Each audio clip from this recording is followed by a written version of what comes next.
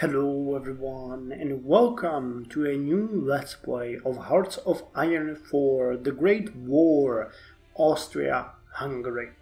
Yes, we are starting a new Let's Play and this time we are going to play one of the big boys. And as usual, fair warning, this is the first episode, meaning I'm gonna spend it uh, setting things up, speaking about the historical background, our strategy for the upcoming episodes and our long-term goals that we plan to achieve within this playthrough. So if that's not something that you guys enjoy, I recommend you jump to episode number two. But as before, this game is all about context, and without that context, you might be a bit lost in the next few dozen episodes, hopefully. no, hopefully you won't be lost, but you can be. Anyway, let's start this. We are going to play a new game starting 1st of May 1910, the powder keg of Europe. 1910 is a challenging time for the peace in Europe. The Italians are preparing for a war with the Ottomans which will threaten their hold in the Balkans. Rebellion in Morocco is beginning to boil over, much to the anguish of France and to the delight of the German Empire. All in all, either clear heads will be needed to keep the peace or strong hearts to win the war. So this is our scenario and we are going to play Austria-Hungary. Now the reason why I am starting here and not on the map is that I want you to hear the brief history description because it speaks about a couple of points that I want to make. So Austria-Hungary is led by Franz Joseph I. He's an authoritarian um, governor or ruler Government is an authoritarian regime, we know that. Elections will be in May 1911 and the ruling party is authoritarian. Brief history of Austria-Hungary. The last century, the last century was a curse to the Austrian throne. Humiliation after humiliation was thrust upon her, from the rampage of Napoleon to the unification of Germany by the Prussians. Venerable old Kaiser Franz Joseph I now stands as the weakest member of the Triple Alliance, with two of her old enemies. But surprisingly, this has gone well for Austria so far. The Habsburgs have inherited Bosnia, and the people of Hungary finally seems placated. Perhaps more good shall come. We have a couple of um, modifiers here. House of Habsburg Lorraine gives us extra daily political power gain, not much, but 0.05. The House of Habsburg Lorraine is one of the most influential royal houses of Europe and the ruling dynasty of Austria-Hungary. The long legacy of this family on the throne of the empire gives them much of the necessary legitimacy to maintain their rule so long as they can maintain it. Multinational state, however, gives us a lowered stability by 10%. Unlike most countries of this period, the Austro-Hungarian Empire is not a nas nationalistically organized state, but instead a relic of old marriages and throne inheritances inheritances. Yeah, I'm saying it correctly, I think. Inherit inheritances. Ah, my apology. Which have given the empire a cultural patchwork of territories. In recent times, many of the subject nationalities of the empire have begun a push for independence, hurting the Austrian state. And then there is a couple of uh, bigger things here uh, to read. Securing Italian loyalty. The Italians are, to say the least, not exactly on the friendliest terms with us. We should start negotiating with them in order to establish more amicable relations if we hope to keep them in our alliance. Of course, if we go through with this, we'll probably end up losing territory. Then we have the military expertise from Germany.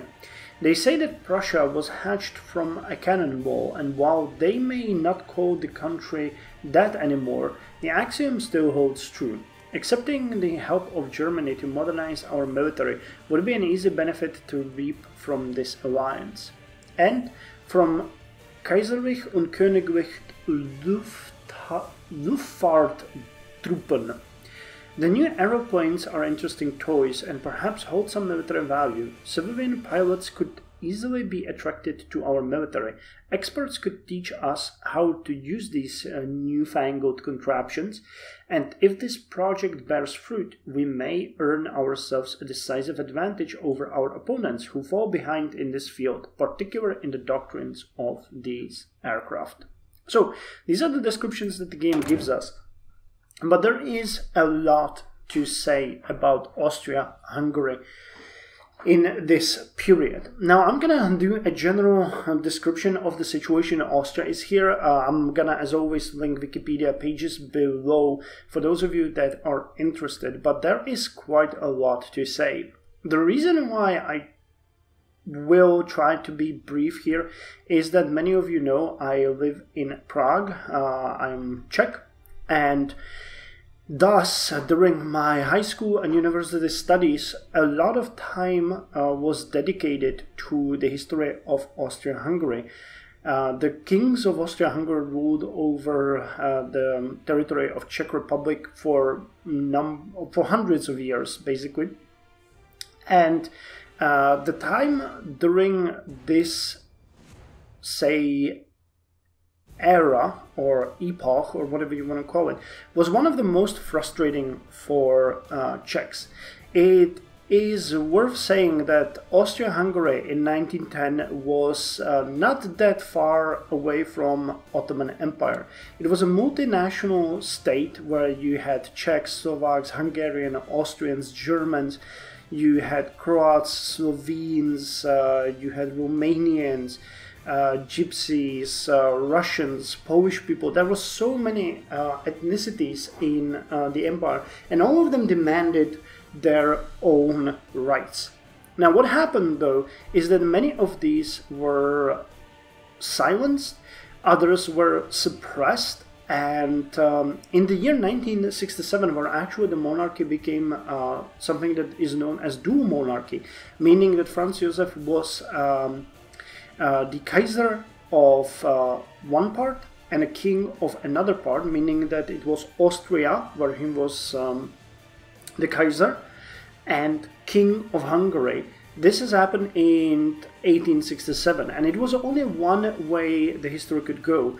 Uh, there was actually quite a bit of a move for either pluralization, uh, complete pluralization, or um, more like uh, becoming sort of a federation of states where Czechs, Slovaks, Hungarians, and all of these other nations would be uh, on the same level, you know, and they would have the same rights.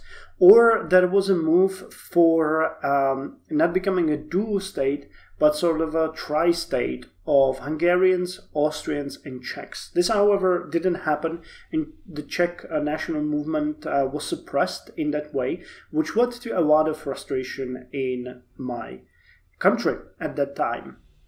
Now, what this also meant was that Kaiser uh, Franz Joseph I was not interested in any modernization of the country. Uh, they didn't speak a lot about this, but the fact is that uh, Austria Hungary was desperately uh, in a need of military, political, industrial, economical reforms. And while there was a quite a huge uh, bureaucracy that was trying to push this there was a lot of resistance in the upper levels of the government, meaning Kaiser and um, his uh, you know ministers and uh, advisors, because they all feared, or mostly, not I cannot say all, but most of them feared that any change would put the country or the empire into such an imbalance that could lead to it falling apart. Now, kind of an interesting uh, thing is that when um, Franz Joseph I died, and his uh, successor Karl uh, came uh, to power. He reached out to the various nationalities, including the Czechs and uh, you know um, Hungarians and Croats, and he he offered that if they would stay in the monarchy, there would be some sort of federalization of the empire. But these requirements in 1917 were rejected by the nations that were desperate for them just a couple of years earlier. That alone should show you how the mood in the country changed within those years and how many people uh, actually hoped that uh, Austria Hungary would lose and fracture as it did. And then you saw all of these smaller states coming from Austria-Hungary. So that's um, that's the general uh, introduction. Now what I'm gonna do here is I'm gonna skip into the game. Uh, I'm gonna investigate the things that are there. I'm gonna prepare our empire for the way that I want to go. And then once in there, we are going to go through it. I'm to start recording, explaining everything.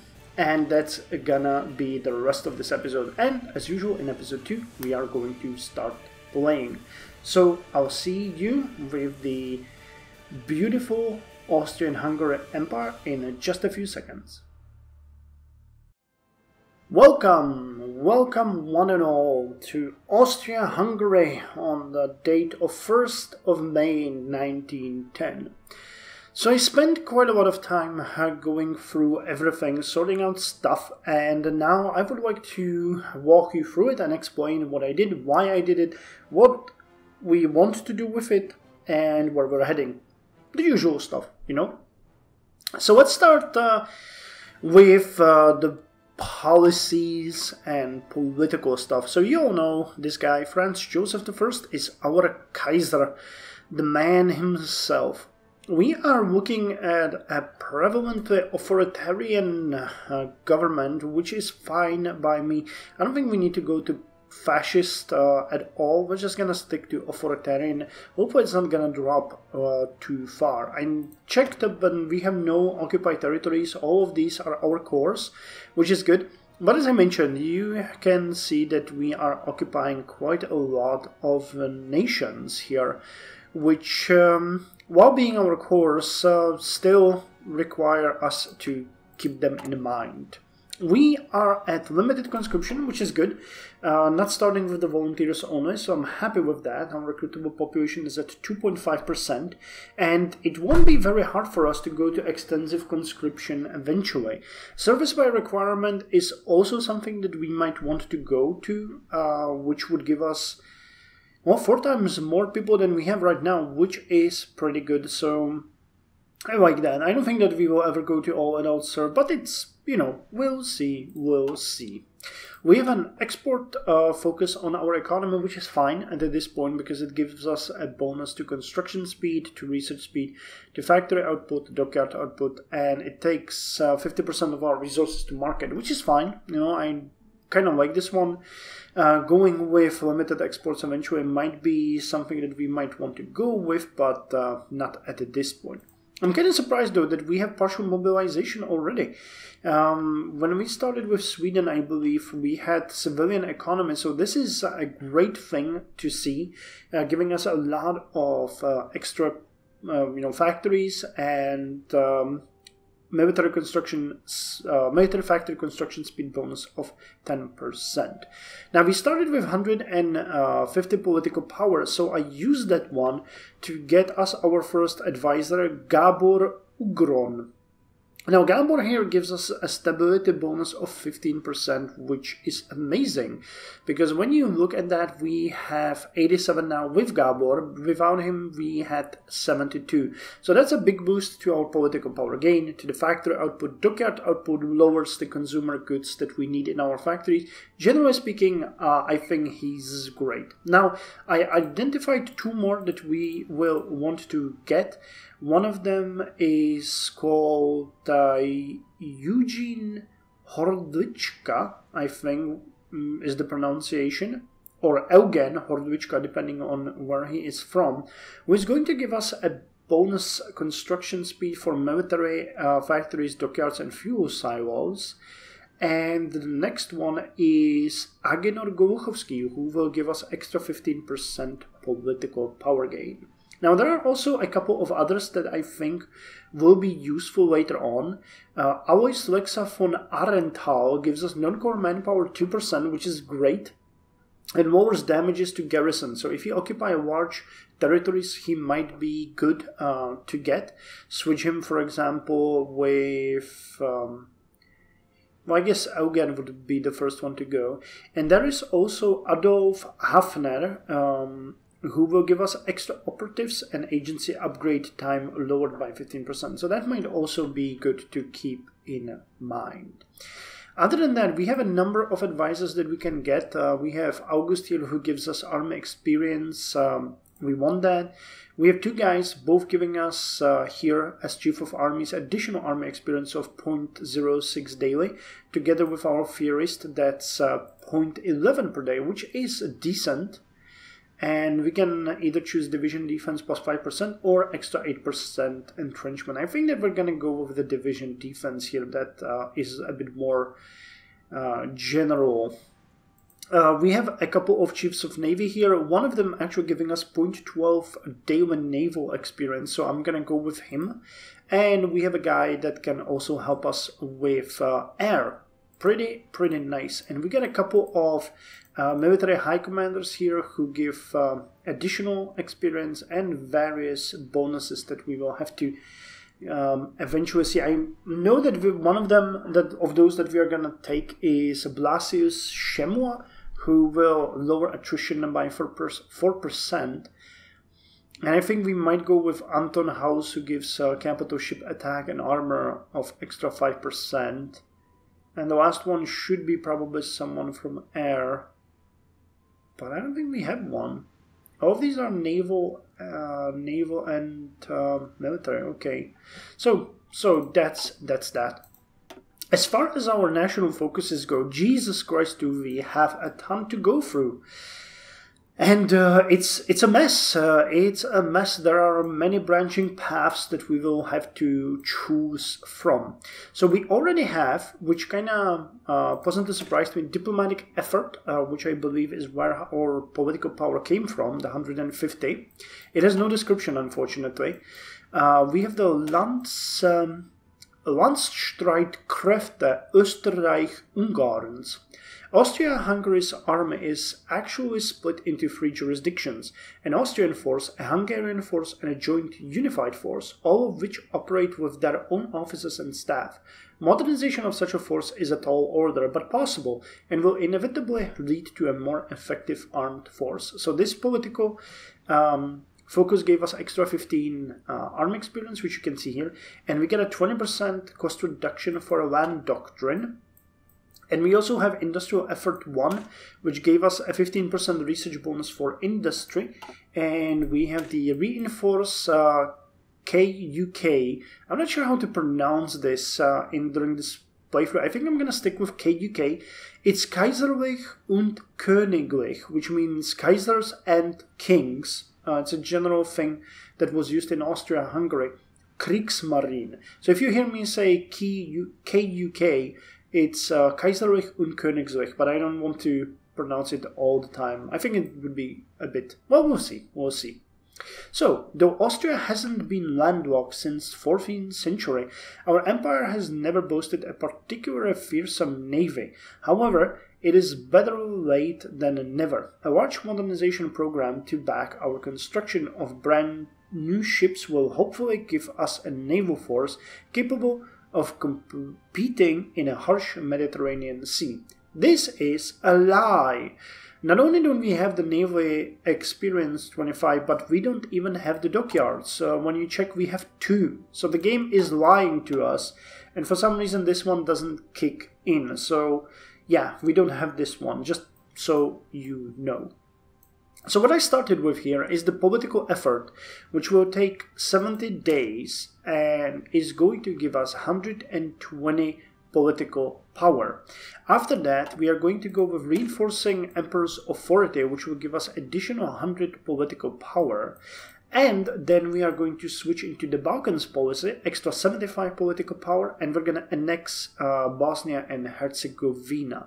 By the time I think we should be able to get the infrastructure effort and the first level of um, industrial boost, not many of these are that interesting for us, but the one that I'm definitely interested in is the dockyard expansion because it's gonna more than double our current naval dockyard, so we'll need this as soon as possible. So let, uh, let me quickly check this. This is uh, 70 days, so let's call it two months, four months. Uh, so that means June, July, August, September. Then you're 21 days, so let's call that uh, October. Then it's 14 days, so that's November. you will be 70 days, so that's January. Yeah, we'll be able to just about get that. And once we are done with the dockyard expansion, I think we're gonna go with the armaments effort, then the construction effort, and we're gonna switch back to other things. I think we will need to be a bit more mindful of the things that we want here because there is a lot of options here. I mean, getting, for example, the uh, Luftfahrttruppen um, is a good idea because it's going to give us reduction for air doctrine, a lot of air experience. Um, these equipment efforts also give arm experience, which is amazing, and we would like to get those. Um, these give all bonuses to uh, naval research uh, but the dockyard expansion is the one that I'm interested in the most, and I'm gonna explain why in just a second. So I think this is uh, what we can say about the political effort, and now let's look a bit more on our economy. So what I'm really happy with is the fact that we get pretty much everything. We even have a decent oil extraction. Uh, we have actually 63 oil 18 is here uh, we got 32 up here which we need to protect so we'll need to make sure that this area is not lost to Russia and was another source somewhere Transdanube. Ah, here. Okay, so 18 here, 13 here. So this alone will make us capable of uh, building a force of cars, tanks, uh, and navy that we can supply. But we'll need to develop this and make sure that we get as much as possible. So getting the extraction here is going to be extremely important. Uh, we also have a ton of aluminum, uh, tungsten, steel, chromium, coal, and wood. Where we lack is rubber and I already started imports from Brazil. So getting some synthetic refineries sooner than later will also be pretty important for us because uh, if you remember all of the here's research I'm gonna speak about that later on uh, but all of the cars oh actually these cars oh wow car these cars don't require rubber at all. Kind of surprised. None of you? None of you really? Thanks Okay, tanks don't require that either. So is it really just the vehicles? Yeah. Uh, okay, but you know, anyway, we need it for horse-drawn vehicles, which are needed for everything, pretty much. Uh, and once we switch to urban motorized, we'll need it even more. So uh, as we are going to grow our production of cars, uh, this will be important. But again, this um, this puts it in a bit more of a perspective where the research will eventually give us um, uh, okay just realize yeah we will never be able to upgrade it in this uh, playthrough. Okay so just building the synthetic refine on the other hand can we import it from well, we can import from Belgium, and eventually that's gonna fall to Germany. So maybe we'll be able to import it just from Germany. For now, I'm importing it from Brazil. Eh, maybe we don't need that. Okay, uh, I also set a grandiose plan of construction here. Considering our army will require quite a lot of modernization, um, I scheduled a huge number of uh, tasks for it. We are starting with measly 37 civilian industries and uh, 12 military factories compared to, for example, Germany, who has 60 and 23. So we have about half of what they do. But, you know, still it's not bad. It's, um, you know, it's uh, slightly less than Russia has and on par with France. Okay, gotcha. So we're not doing all that bad, but it's it's you know still not exactly great. So we're starting with uh, boosting some of our construction capacities by always building two civilian factories. By the way, it's great that we can hold two lines right off the bat, and I think that once I unpause the game, we are going to start exporting tons and tons of uh, resources so this should go up uh, significantly as well. So we're starting with some civilian factories, then we're gonna build a military factory, then again civilian factory. We're gonna soon start working in Dalmatia on um, naval dockyard because we need more of those. Uh, then again, civilian factories, military, and you can see how you know the pattern goes. Right about here, uh, I think I, this should be mid 1911. We're gonna build a bigger boost to our military factories because we will need to start producing some new stuff and airplanes and stuff like that. So at that point, I'm gonna start switching it to one to one but we'll see how it's gonna go. So far, I want to boost the civilian uh, production as well. What I see as problematic is our railway is fairly weak, and especially in the areas uh, of the borders with uh, Russia, we do not really have uh, much capacity here. So I think it might be necessary for us to build some supply hubs here to make sure that our units will be able to get proper uh, supplies and defend against uh, the enemies. On the other hand, the good good news is that the opponent um, has a railway here that we can follow and thus make sure our units will be in supply later on as well. So that's uh, that's important. Now uh, I mentioned that the uh, construction is going to go like this. Uh, we have the trade so I think this is all for economy. So let's now move to research and general plans for the army. So let's start by research. Research is going to be a quick one. Uh, we basically set all of our research on uh, boosts to economy, you know, as, as you do in the beginning. Uh, we got mechanical computing that's going to increase our research speed by 1%. We got carpentry schools, extra production efficiency cap uh, of 1%. Construction 1, which is going to help with construction speed by 2%. And we have oil extraction, which will allow us to get some fuel silos, but also fuel gain per oil of 10 extra percent and fuel gain from refineries extra 10 percent. So again, this one is going to be very important for us. Now we're going to focus on civilian industry in the beginning very heavily. Um, we are going to switch to heavy industry once we're done with carpentry schools and uh, metallurgy schools, which will give us additional 2% production efficiency and 10% factory output. Uh, we will also go with underground mining, extra resource gain efficiency, and improved oil drilling. And here we get trench excavation. Not really sure about the trenches uh, but we'll need to finish these as soon as possible. As far as engineering goes, uh, we're working on the research speed. Uh, we're gonna get the basic radios as well and communication systems, plus the encryption and decryption. But what we need to get as soon as possible is also the tank prototype.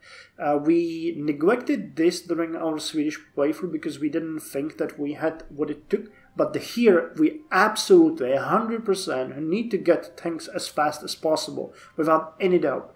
This is something that will be absolutely um, necessary for us, and I, I cannot stress that enough.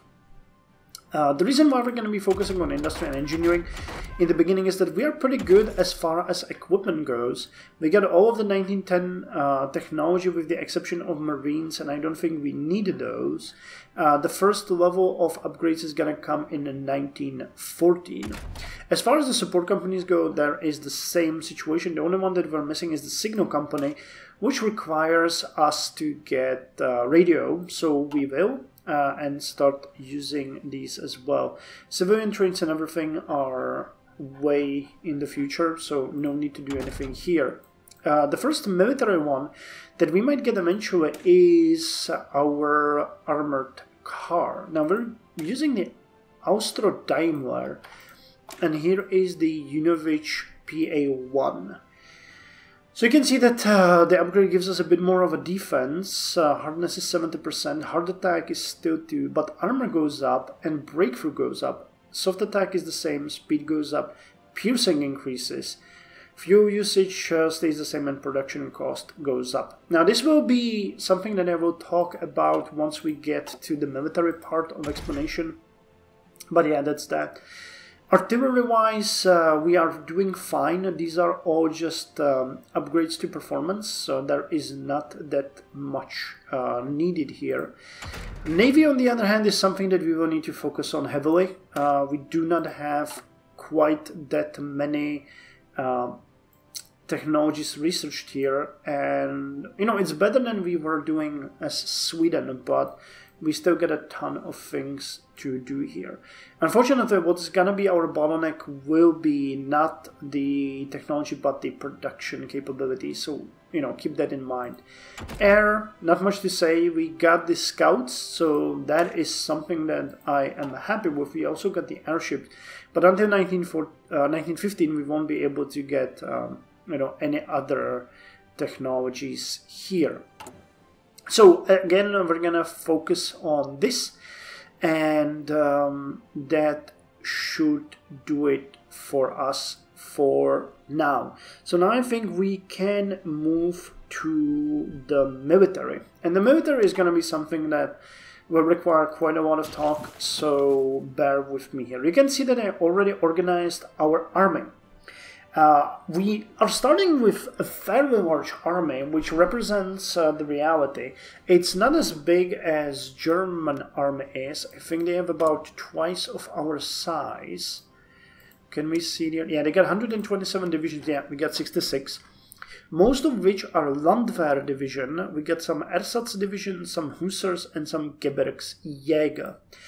Now, uh, I went um, as historical here as possible. It was mentioned in the introduction that the Hungarian army was actually split into three. Uh, well, speaking about the army, not not the military. Let's speak about the army only.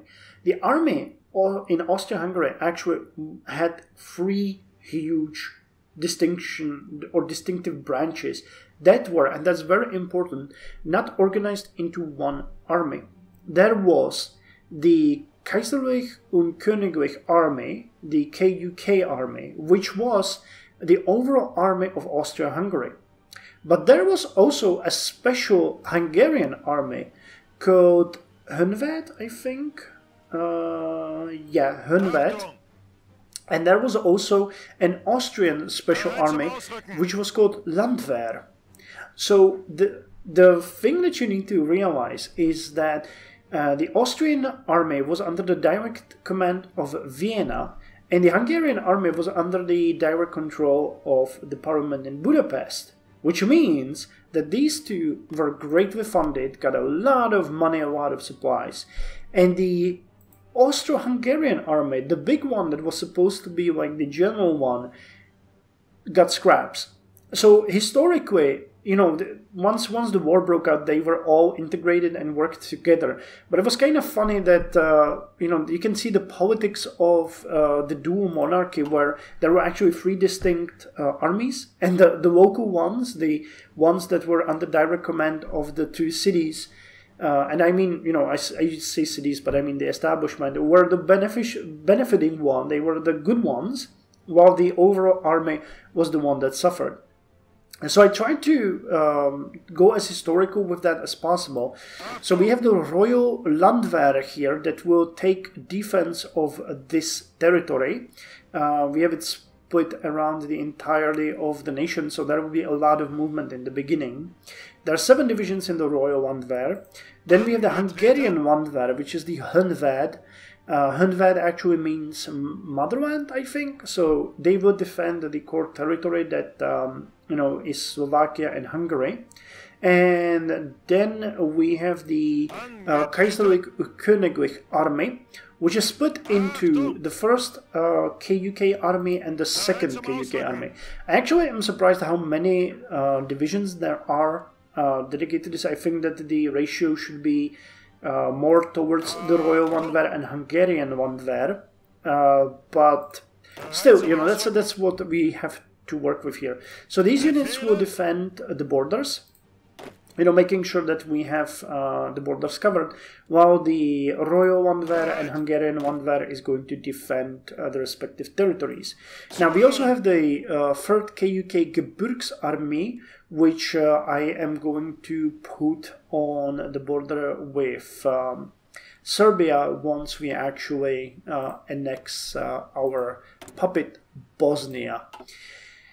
Okay, so you can see that uh, we didn't have enough generals for everything, which is also why the Royal Landwehr and Hungarian Landwehr are um, under the one command of Army Group 1. I'm going to actually split this and get another field marshal for uh, the Hungarian Landwehr but uh, for now we don't have enough commanders. We also have an army here called Landsturm. I actually had to Google that because I wasn't sure who these are, and those were reserve uh, reserve units you can see it also on their template, uh, which were you know manned by uh, manned by men of the age of 35 to 55, I believe, that were still part of the army, but were not like the frontal unit. Now, these Landsturmbrigaden were eventually incorporated uh, into the regular army once the war broke out, so they stopped uh, serving as reservists. But for now, you know, I, I thought that we would start with them, and they're gonna defend the central territory that are not uh, part of uh, the area that's gonna be defended by Royal and Hungarian Landwehr. So that's what I did with the army here. Now, we will need to enact a huge military reform. Um, I expect that we're going to be doing it somewhere 1912, 1913, uh, which is going to mean uh, we have the Landwehr division here, which is going to be our main front uh, infantry that's going to defend uh, our borders against the Russians and other neighboring nations. Now, it's going to require us to give them the logistic companies and uh, field hospitals. But I would also like to give them some regular artillery if we're going to be able to. Because while they have a decent defense, if they come onto heavy attack, they will require um, the cover of artillery so that they can cause more casualties to the incoming enemy.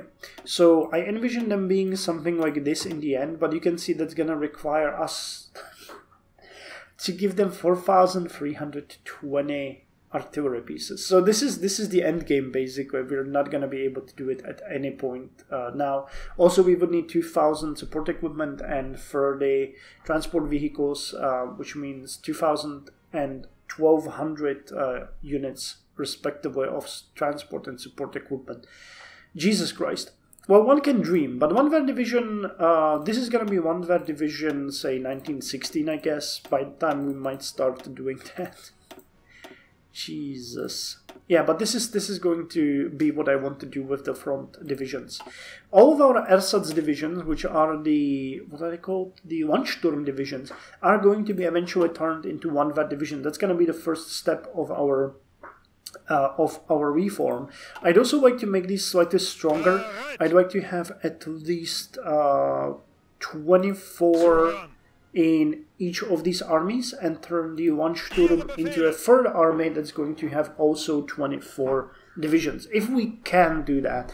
And those will be used uh, to defend against um, Russia, against um, well, actually, the, the the two armies, the first and second one, will probably be uh, defending against uh, Russia, while the third army is going to be defending against Serbia and maybe later against Italy. We'll see how that's gonna go. Now, one thing though that I really want to speak about here is that we're gonna uh, start working on the Stoßtruppen divisions, which is a theoretical division that we do not have at this point. But these guys are not gonna be theoretical at all. These guys are gonna be our heavy hitters.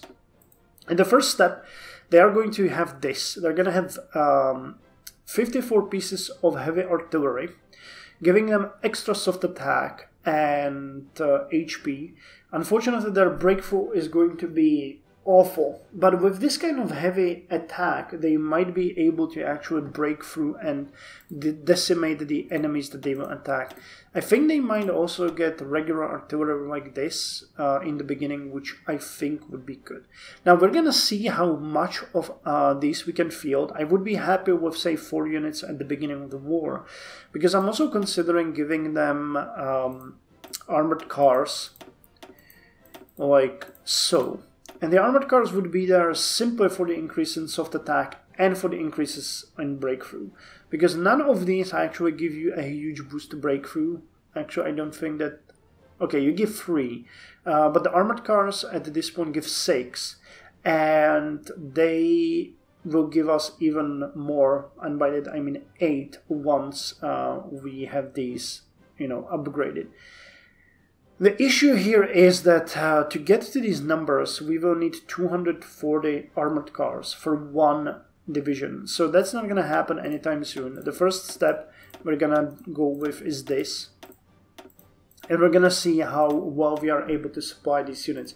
Eventually I can just give them um, give them the armored cars, you know, then give them another one. The amount of cars that's needed for these divisions is just insane, but the boost to breakthrough, I think, is worth it. If we ever get to tanks, I'm gonna probably create a separate template that's gonna deal with this, but you know, we shall see. So these units are going to be the main ones. I'd also like to train more Gebirgsjäger divisions that are gonna be fighting against um, Italy in the mountains here. So getting more mountain. I don't know how many we could train here. Okay, we get three divisions and we could add additional nine. So I could train two more divisions.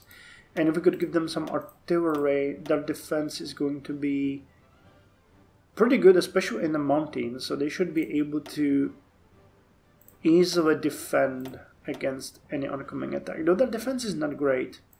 But if we give them also support artillery and field hospitals, they could probably work well. I'd rather have more of these because of the mount, uh, mountainous area where we are going to fight with the Italians rather than having less of them. So that's the thing. Okay, so uh, that covers the army now to the production uh, of uh, military equipment. You can see that we are starting with infantry equipment and support equipment on four factories.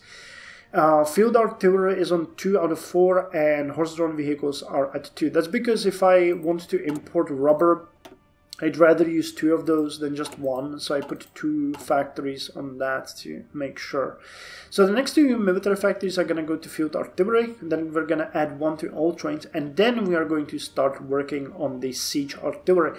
We'll need tons of uh, factories working on that because these cost 12.5, while for example infantry equipment cost 0.24, and even the regular field artillery costs 2.4. So these give you the biggest boost uh, but they are extremely expensive. I think they're way... Wait, how many do we need? Yeah, armored car is here. They cost 4. So the cost of one piece of siege artillery, you can get three cars, basically. And if we wanted to add these, you need... How many? Okay, that's roughly fair. You need say 20 heavy artillery and three times more armored cars. So it's it's reg, you know it's the same same ratio. These guys gives 11 defense, 3 breakthrough, but 26 soft attack and 2 hard attack. And you guys give 2.8 defense, so that is comparable. But you give 6 breakthrough, which is uh, your strength, and 9 soft attack. Yeah, so it would be good to have, you know, both of these. Rather to have a few divisions than have more because we have well we have the main armies that are going to uh, hold the line will use these divisions to break through to Belgrade and other areas and take these southern territories. We must make sure that the Ottoman Empire doesn't have to fight here and they can dedicate all of their troops into the fight with uh, Great Britain. Hopefully, we're not going to have such a nightmarish scenario as we had before. Okay, and last topic that I would like to cover here is the Navy. Well, the Navy, the Navy, the Navy. As I mentioned, we have only two dockyards, which is just abysmal. Uh, we have only a couple of ships scheduled. Uh, they are actually the first pre-dreadnought is going to be finished uh, in a couple of months, so that's good. The second one is going to be done in a couple of years, though, so that's horrifying. And then we have one uh, second pre-dreadnought here of the second class and Light Cruiser one. Now our navy in fact, is actually pretty sizable. Uh, they are way bigger than whatever, whatever we had as uh, Sweden. And I think if we play our cards well, we can and should be able to sink the Italian Navy. We probably won't be able to face the Royal Navy, but I doubt they would go this deep. So let's hope it's going to work. We get 11 heavy dreadnought ships. Most of these are actually pre-dreadnoughts too, so they are great, but the issue is they require extensive upgrades immediately. So we could greatly upgrade these right off the bat, Uh, if you just check it like this, we don't need... We could put secondary batteries here instead and more heavy batteries. So this alone would cost us just 4,231 in refit costs, But this this ship would become a beast. But again, like this is oh, and we're not even done here. I think that yeah, we can boost you by adding additional ones. So all of our ships of the heavy type require extensive refits right off the bat. Same thing is for the heavy cruisers that we have, which are of the armored cruiser 1 and 2 type, which again lack a number of modules. We could add torpedo launchers here, we could add uh, rapid fire light cruiser batteries or heavy cruiser batteries, um, which might be even better if we added heavy. Yeah, look at that bonuses and upgrade the medium boundaries here, giving them cruiser armor. So we can refit a ton of these ships. But A, that's going to cost us a ton of experience. Uh, it's going to cost us a ton of um, uh, dockyards to, to make these refits and it's going to be a long-term project. So while we have a lot of ships to start with, I don't think that for quite some time we will see more production here. We're of course going to finish these ships, but then we're going to have to refit them and make sure that they are capable of fighting rather than you know being uh, being whatever they are. Actually, I haven't put in some admirals. So you have fleet coordination of 6, a naval hit chance of 15, positioning damage. Okay, it's the same. Okay. Oh, you guys are all the same. What you have instead of positioning. Oh, what's your. Oh, you don't have the skills. Okay. So you have positioning and positioning. So we can put uh, Anton Haus in command of the first navy, and also we have a couple of submarines which you know are not anything to, to write home about. But it's six submarines. Uh, they again lack some torpedo tubes, but you know not much that we can we can complain about there. So the thing is that we will just need to upgrade the dockyards, which is why I put such a heavy emphasis on starting the upgrades uh, and building the dockyards as soon as possible. We're gonna have to see how many dockyards we're going to need, and we'll also need to make sure uh, that we get these uh, what are they called dockyard expansions? Yeah, as fast as possible. They will each give us two then four. So we can get by 1913 we will have uh, four from this, two from construction, and two what we have. So we'll uh, increase our capacity four times. And in 1915 there's two extra. So yeah, I think that 10 in 1915 should be enough. We might get even more if we need to get more, but uh, I don't want to overdo it because, you know, there's no need for such an extensive, uh, extensive. But maybe 10 is not enough. Maybe we'll need like 20 and I'll, I'll just have to change my plans completely. But yeah, the refits and everything will be very important. Now, we do have a lot of oil, so I don't have a problem with putting our navies immediately on uh, military exercises. We'll see how quickly we drain that oil away. Uh, but the navy experience is going to start jumping up, which is good, and we'll start by refitting the destroyers as we do because those are uh, really important for coverage. I'm going to add more torpedo launchers on them I don't think we'll need that many. Actually, we could completely refit you to just torpedo launchers and have dedicated special submer uh, sub hunters. On the other hand, these are going to be fleet, and we they might send some submarines against us. So, well, still, you guys need the torpedo tubes, and they can get better light batteries right off the bat. So, yeah, this is going to be it. Okay, so I think that we've covered everything. I think that we've covered the military, we've covered the uh, production, we've covered the research. Yeah, uh, long episode, long episode, but I explained my plans, I hope, in depth. And in the next episode, we are going to start playing.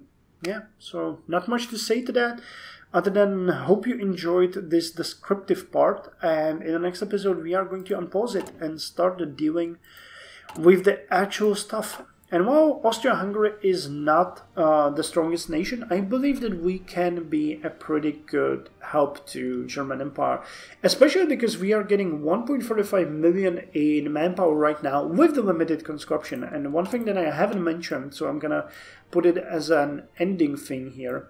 Militarism gives us additional 5%. Military youth gives us additional 2%. And there are other things that I think Let's see, recruitable, anything else? Yeah, we have additional recruitable population here. So that is pretty good. Anything else here that uh, damage to garrison's population? Free elections, that's not gonna help. Reign of Terror, oh my god. Manpower, extra manpower. Yeah, okay, so, okay. But, you know, with just the, what is it, um, service by requirement, we jump from 1.45 million to four times that, and with the militarism, that's additional 5%, and military youth, that's 2. So from 2.5%, we go to 17%, uh, which means we are going to get somewhere to like 8 million eligible uh, people. And if we eventually get to extensive conscription, we are going to be golden. Uh, sorry, not uh, extensive, but all that serve that would be like 15, 16 million just with us. And that's without the, the population growth. You know, we get uh, every month additional 1.65 thousand. Plus, we are hopefully going to conquer large amounts of um, you know, uh, of the Balkans and of Russia. So let's hope, let us hope for that. So, see you in the next episode.